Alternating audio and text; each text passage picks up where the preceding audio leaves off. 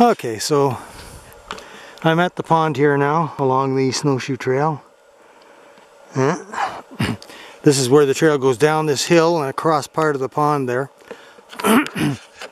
yeah, things are starting to soften up a bit now and I wouldn't cross that anyways. It's not that deep there, but um, it would be a pain if I went through the ice on my snowshoes and it'd be hard to pull them back out again, I'm sure.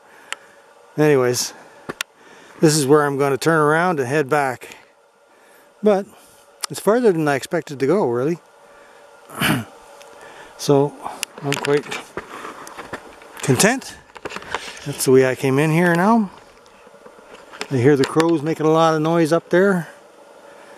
Yeah. Very quiet.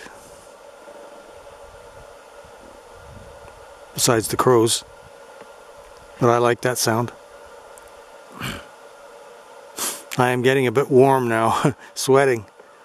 That's why I don't really want to go farther now because I know if I go all the way around, it's going to get too hot.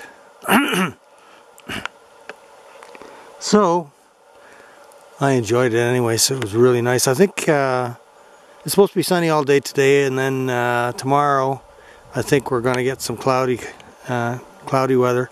I think we're going to get a little bit of snow this week too. Yeah, not a lot, but uh, it'll probably be wet snow, and it'll probably melt pretty fast too. So it's that time of year, you know.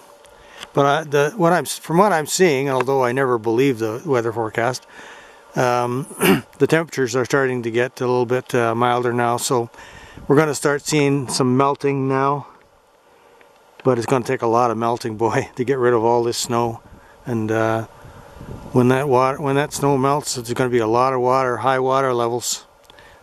But here in Elliott Lake, it really doesn't affect us that much because Elliott Lake itself is, is built on a high uh, spot.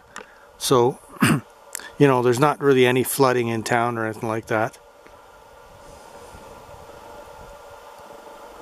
Anyways, let's head back.